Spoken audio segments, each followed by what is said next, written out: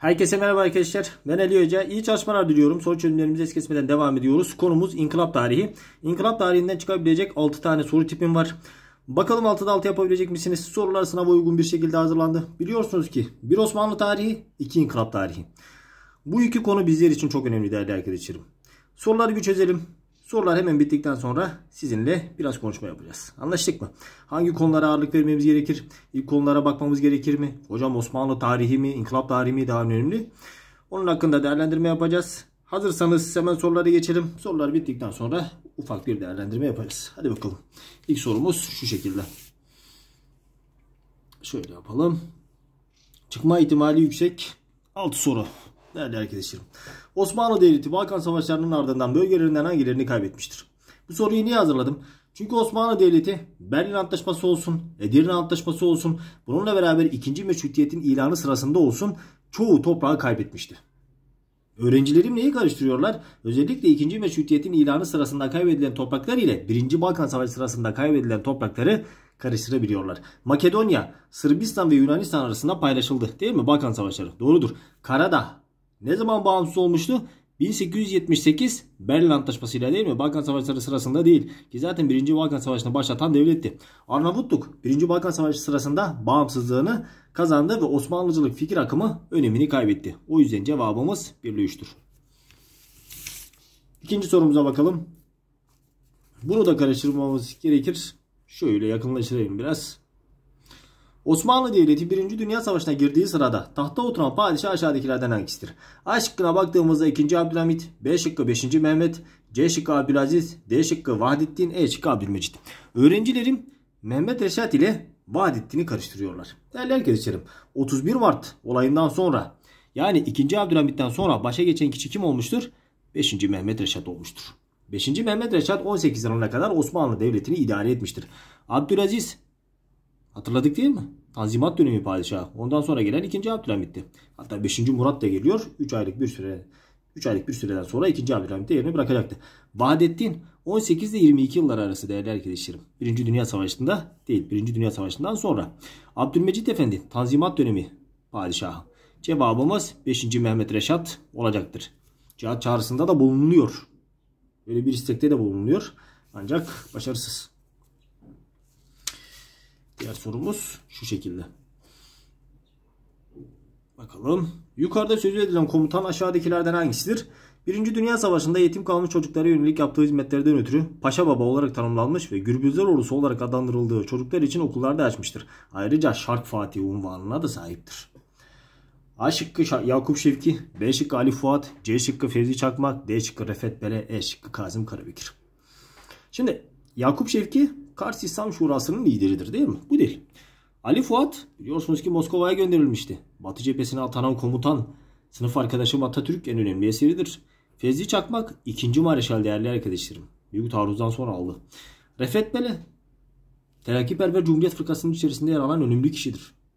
Doğu, Doğu Trakya kurtarıldıktan sonra Doğu Trakya'yı bizzat asker çıkaran kişidir. Cevabımız Kazım Karabekir olacaktır. Yetimlerin babası ya da Şark Fatih olarak bilinir.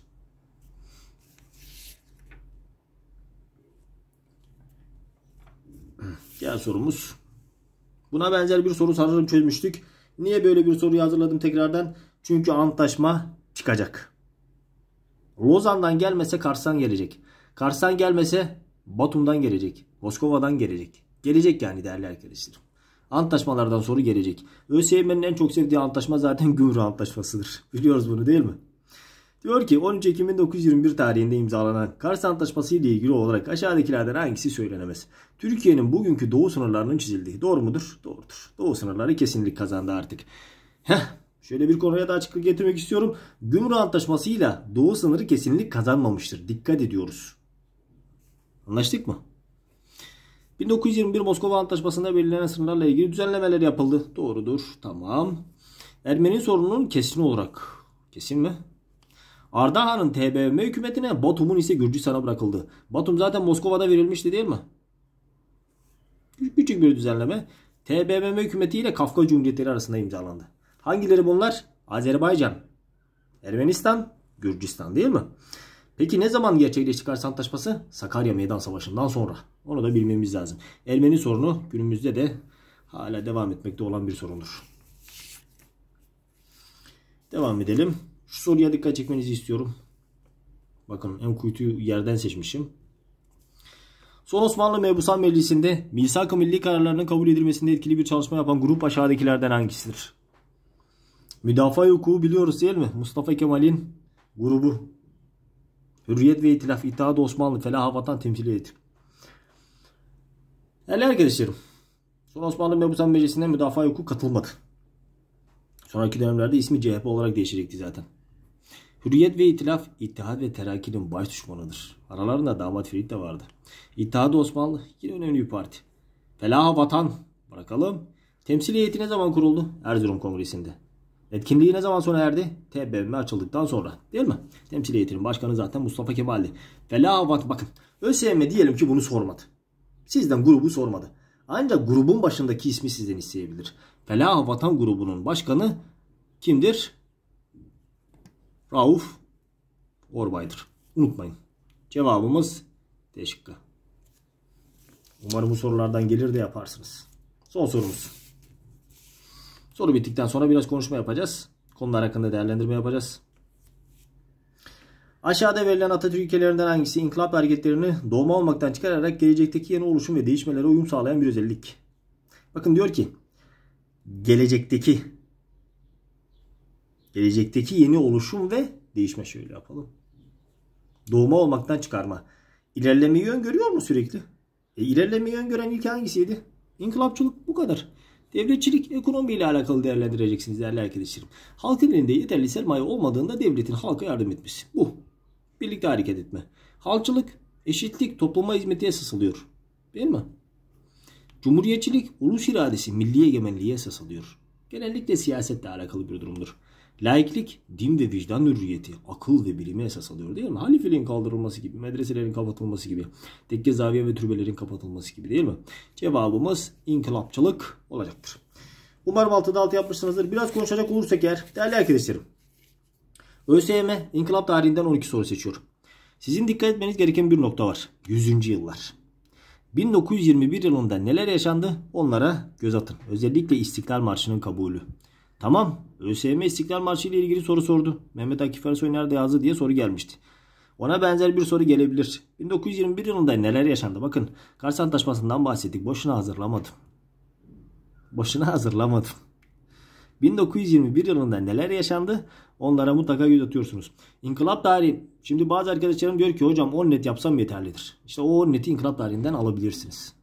Bazen bazı arkadaşlar diyor. Bazı arkadaşlar da 27'de 27 yapacağım diyor. 27'de 27 yapman için Osmanlı tarihine de ağırlık vermen lazım. Osmanlı tarihinden 9 soru, İnkılap tarihinden 12 soru, Çağdaş Türk ve Dünya tarihinden 3 soru, ilk 3 konudan 3 soru geliyor. Yani İslamiyet öncesi tarihten 1 soru. Türk İslam tarihinden 1 soru, Türkiye Selçuklu tarihinden 1 soru geliyor değerli arkadaşlarım. Sizin dikkat etmeniz gereken iki konu. Bir Osmanlı, iki inkılap tarihi. Özellikle inkılap tarihi değerli arkadaşlarım. İnkılap tarihi üzerinde bol bol durmanız gerekir. İnkılap tarihi hakkında bol bol soru çözmeniz gerekir. Gelir. ÖSYM en kuytu yerlerden seçebiliyor bazen. O yüzden inkılap tarihine ağırlık vermemiz gerekir. Çağdaş Türk ve Dünya tarihi ile ilgili geçen sene de yorum yapmıştım. Bu sene de aynı yorum yapacağım. Sizi zorlamayacaktır. Çağdaş Türk ve Dünya tarihinde fazla konu olduğu için sizi zorlamıyorlar. Bilindik yerlerden seçiyorlar. Ama yine de göz ardı etmeyin. Siz bana o kadar da güvenmeyin. YSM'nin işi belli olmaz. Devlet ne sorar onu bilemem. Benim şahsi düşüncem bu yönde. Sizin dikkat etmeniz gereken inkılap tarihidir. O yüzden de 6 tane güzel soru hazırladım. Çıkma ihtimali yüksek 6 soru. İnşallah işinize yarayacaktır. Osmanlı tarihinden e, şimdi arkadaşlar yorum yapıyor hocam daha zor sorular gelir mi? Ben o zor soruları saklıyorum. Sınava yakın bir sürede yani sınav provasında 27 soruluk bir deneme sizleri bekliyor olacak. Bakalım orada ne yapacaksınız? Öncesinde de 27 soruluk bir deneme olacak. Arttırmaya çalışacağım değerli arkadaşlarım. 27 sorular biliyorum. Daha iyi. Ama bunlar kilit soru. Bunlara dikkat etmemiz gerekir. Durum bu yönde değerli arkadaşlarım. Dediğim gibi ilk konularda es geçmiyoruz. Sakın es geçmeyin. Bir soru bizim için çok önemli bir soru. Bir soru bile bizim için çok değerli. İslamiyet öncesi Türk tarihindeki soru klasik gelecek. Türk İslam tarihindeki soru klasik gelecek. Geçen sene olduğu gibi bu sene de ben bilgi bekliyorum. Her şey gönlünüzce olsun. Duygu ve düşüncelerinizi yorumda belirtebilirsiniz. Hocam şöyle şöyle yapsak. Mesela bir arkadaş yorum yapmış. Hocam kolları bitiremiyorum. Sevgili arkadaşım. Yani ne demiştim? Hangi paylaşımdı? Girişte belirttim ben. Tarihi en sona bırakmayın üzülürsünüz diye. Tarih bitmez. Tarih bitmez değerli arkadaşlar. Hiçbir zaman bitmez. O yüzden en başa alın. 27 soru var ya. Bu 27 soru güncel bilgileri de etkiliyor, coğrafyayı da etkiliyor, vatandaşlığı da etkiliyor. Oradan da tarihle ilgili sorular geliyor çünkü. Kendinize çok ama çok iyi bakıyorsunuz. Bilgiyle kalın, tarihle kalın, kültürle kalın. Hoşçakalın.